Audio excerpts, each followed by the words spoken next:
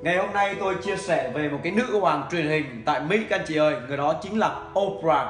Và ngày hôm nay tôi chia sẻ các anh chị 7 cái nguyên tắc, 7 cái bí mật để Oprah thành công và trở thành cái người tỷ phú đô la da màu tại nước Mỹ và sở hữu rất nhiều cái talk show truyền hình rất nổi tiếng ở Mỹ.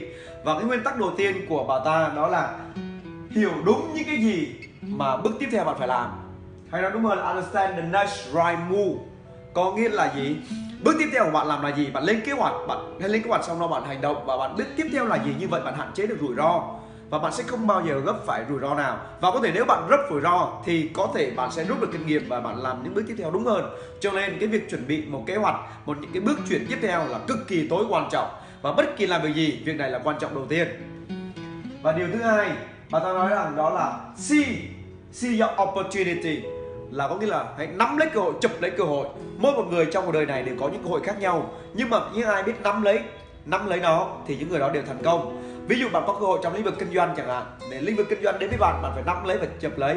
Ở trong lĩnh vực bất động sản hay chứng khoán cũng như vậy, mỗi người trong chúng ta đều có cơ hội khác nhau. Và khi nó đến, cái người thành công họ biết nắm lấy và chuẩn bị để chụp lấy. Còn những người thất bại là những người nó đến nhưng mà vẫn thờ ơ, vẫn từ bỏ, vẫn từ chối. Và đó là lý do tại sao sự khác biệt giữa con người và con người thành công và người không thành công, đó là họ biết nắm lấy cơ hội đúng lúc, đúng thời điểm các anh chị. Và điều thứ ba bà ta nói rằng bất kỳ một ai cũng phải gặp những cái sai lầm. Everyone make mistake mọi người đều gặp phải sai lầm các anh chị ơi. Không một ai là hoàn hảo, đúng không nào? Kể cả anh chị cũng vậy, tôi cũng vậy. Bất kỳ ai trong đời này cũng không hoàn hảo. Nhưng mà con người ta phải chấp nhận cái sai lầm đó, học hỏi để vươn lên. Và chúng ta phải biết rằng những cái thất bại chính là những cái bài học lớn trong tương lai. Những cái thất bại người ta nói rằng thất bại là mẹ thành công. Thất bại chính là cái nền tảng để các anh chị vươn đến tương lai. Bởi vì không ai lớn lên mà không dạy đôi lần. Không ai làm công việc kinh doanh nào mà không vấp ngã, cho nên bạn đừng có sợ vấp ngã, hãy vấp ngã thật nhiều. Nhưng hãy nhớ rằng lần sau đừng bao giờ vấp phải những cái sai lầm đó. Điều thứ tư bạn ta nói là gì? Work on yourself. Tất cả mọi thứ bạn làm phải dựa trên cái nền tảng của bản thân của bạn. Ví dụ bạn có thế mạnh gì, mọi thứ việc bạn làm bạn làm cái việc bạn thích dựa trên cái thế mạnh đó cái niềm đam mê đó, cái passion đó, cái cái điều muốn làm đó. Còn nếu thực sự bạn đang muốn làm một người ca sĩ chẳng hạn, khát khao trong tâm can của bạn như vậy, nhưng bạn đi làm kinh doanh với cơm áo gạo tiền hàng ngày bạn, và bạn không thể nuôi dưỡng được cái ước mơ đó. Một ngày đẹp trời, bạn từ bỏ cái giấc mơ, cái niềm đam mê đó. Cho nên làm việc gì, hãy làm theo điều bạn thích. Như vậy thì bạn có cái niềm cảm hứng mỗi ngày. Một cái niềm cảm hứng thực sự cao mỗi ngày để bạn có động lực để bước dậy ra khỏi giường vào lúc 8 giờ sáng, dậy đi làm. Và các anh chị có thể kết thúc cái việc này vào lúc nửa đêm. Điều đó các anh chị không có nề hà gì đâu.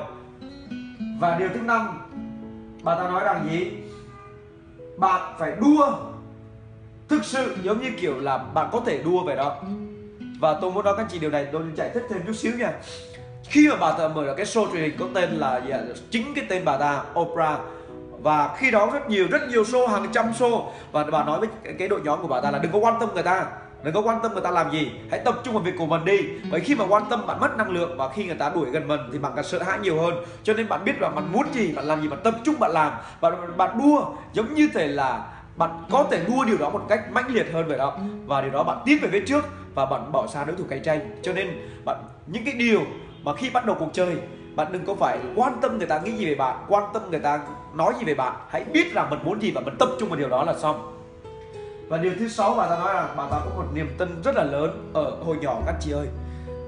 Cái người bà của bà ta nói rằng uh, bà, uh, Oprah nhìn thấy người bà phơi quần áo ngoài ngoài trên một cái cây ngoài cái thời tiết rất giá rét giá rét ở Mississippi. Và lúc đó bà này cũng ước muốn rằng sau này đứa cháu của mình lớn lên uh, phục vụ cho một người da trắng nào đó và không bị bắt nạt. Nhưng ở trong sâu thẳm của Oprah bà ta nghĩ rằng bà có một giấc mơ lớn hơn một giấc mơ cao cả hơn, một giấc mơ vĩ đại hơn.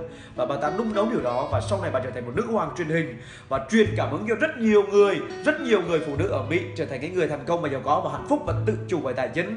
Và Oprah chính là hình mẫu của người phụ nữ quyền lực trên thế giới này, những người truyền cảm hứng cho người khác để giúp cho người phụ nữ trở nên mạnh mẽ hơn và có chỗ đứng trong xã hội hơn. Cho nên, cái niềm tin của bà ta nung nấu từ hồi nhỏ là trở thành cái điều gì đó vĩ đại hơn, vĩ đại hơn ở tương lai, chứ không phải chỉ là cái người đi phục vụ, hầu bàn cho những người da trắng khác, bởi bà ta là người da đen và thời đó bị phân biệt chủng tộc rất là lớn. Và điều thứ bảy, bà ta nói lên một cái điều đó là tất cả mọi người, tất cả chúng ta đều tìm kiếm những điều giống nhau. Có phải chúng ta đều tìm kiếm những điều giống nhau không? Chúng ta đều mưu cầu hạnh phúc giống nhau, đều mong mong cầu thành công, đúng không nào? Bởi chính bác hồ đã nói, trong bản tuyên ngôn độc lập, bác hồ cũng nói là tất cả chúng ta đều sinh ra có quyền bình đẳng và mưu cầu hạnh phúc. Và bà ta cũng nói như vậy, tất cả chúng ta giống nhau, bạn, tôi giống nhau, đều tìm hạnh phúc để tìm thành công. Nhưng mà tại sao chúng ta lại sau một thời gian có người thành công, có người không?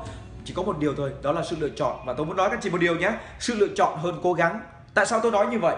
Bởi khi các chị chọn đúng rồi thì các chị quyết tâm và theo đuổi nó đến cùng thì các chị thành công. Và các chị chọn sai thì các chị trả giá cuộc đời này. Các chị thấy không? Có những người quyết định sai, quyết định lấy một tấm chồng sai và cuộc đời này bị hành hung và bị đập phá. Bạn thấy không nào? Có những người sinh viên bởi vì chọn một cái ngành nào đó không đúng như điều mình thích, chọn điều mà đúng ba mẹ họ muốn và sau một thời gian họ chán, họ bỏ cuộc. Và bạn thấy không? Cuộc đời rất là bất hạnh.